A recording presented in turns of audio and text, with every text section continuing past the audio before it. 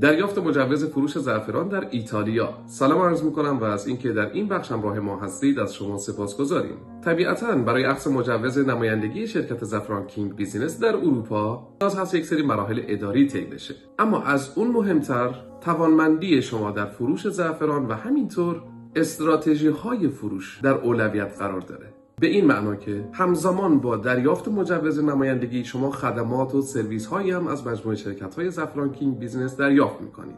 اینکه چطور می‌تونید این توانمندی ها و همینطور استراتژی های فروش رو به کار ببندید تا بتونید در کشور مطلوب خودتون در فروش زعفران موفقیت هایی رو حاصل کنید. قطعا وقتی شما با مشاوران تجاری مجموعه شرکت های ما در ارتباط میشید همکاران و کارشناسان به شما پیشنهاد می‌کنند که اول متمرکز استراتژی های فروش باشید. از شما می‌پرسند که بازار جامعه هدفتون رو چطور انتخاب کردید؟ آیا شناخت کافی در مورد جامعه هدفتون دارید؟